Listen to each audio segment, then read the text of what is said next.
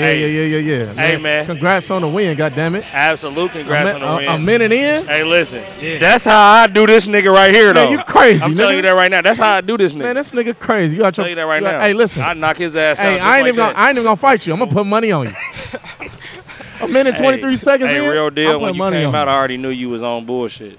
Yeah. Talk to us about what your your How- your, your- your, your game preparation plan, your preparation. Man, uh, all day I was just watching boxing. Mainly Mike Tyson. I was Mm. knocking people out in the first round. So I was just watching Mike Tyson, Riddick Bowe. Was that your goal? Was you Yeah. like, I'm trying to, I'm First trying round? to end it yeah, first end it round? in the like- first round. It's the first uh, fight for me, so I'm trying to end it in the first round. Damn. What was you listening to? What you had banging in the headphones? Oh headphones? yeah, How- I had you- I had that um, 50 Cent regular um, heartbeat playing. Ooh. Oh, yeah, you was That's on a one. different one. You was Yeah. definitely on one. I knew was I seen one. it in that nigga eyes when he walked up out that bitch.